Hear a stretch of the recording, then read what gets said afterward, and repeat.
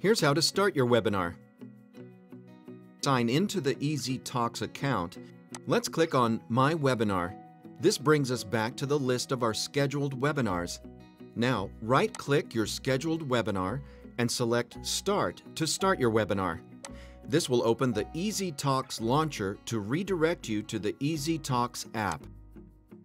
Select Use Current Device, and then your webinar will be successfully started. If you haven't installed the ezTalks app, it'll automatically download the app initially. You can also go to the ezTalks website and find the Download Center at the very bottom of the page. Then download and install the ezTalks app based on the device you're using. Once you've installed the ezTalks app, open it and sign in. Then click the webinar icon. Now you can see all the webinars you've scheduled. Select a webinar and right-click to start it. Click on Use Current Device, and then your webinar will be successfully started through the app.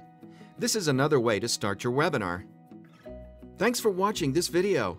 For more information about ezTalks webinar, please subscribe to our YouTube channel, leave us a comment, or visit our website at www.eztalks.com. See you next time!